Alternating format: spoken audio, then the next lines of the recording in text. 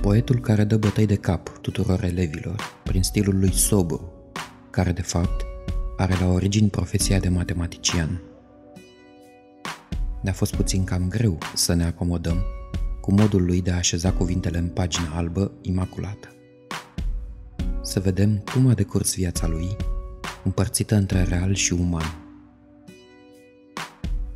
10 curiozități despre Ion Barbu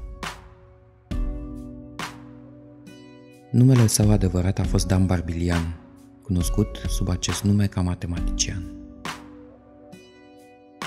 În timpul liceului, descoperă atât pasiunea pentru matematică, publică remarcabile contribuții în revista Gazeta Matematică, dar și pentru poezie. Tot în această perioadă, îl cunoaște pe Tudor Vianu, legându-se o prietenie adevărată.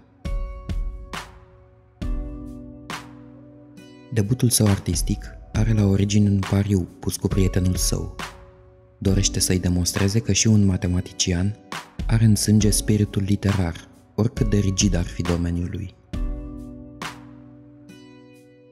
Ion Barbu afirmă că poezia și geometria sunt complementare în viața sa, acolo unde geometria devine rigidă, poezia îi oferă un orizont spre cunoaștere și imaginație. Cea mai importantă operă publicată de Ion Barbu a fost volumul Joc Secund, apărut în 1930.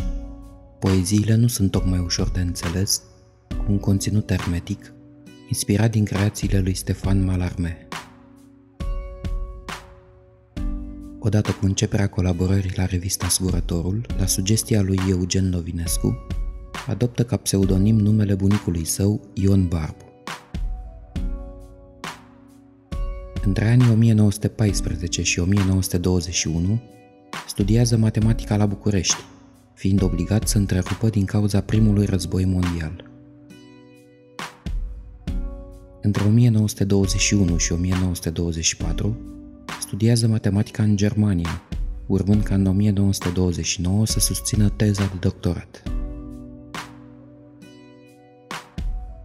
În 1942, a fost numit titular al Catedrei de Algebră în cadrul Facultății de Științe din București.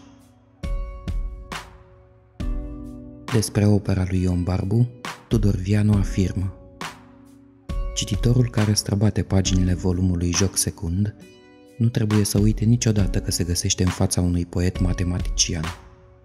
Chiar o simplă inventariere a vocabularului său arată cât datorește Ion Barbu astronomiei mecanicii sau geometriei.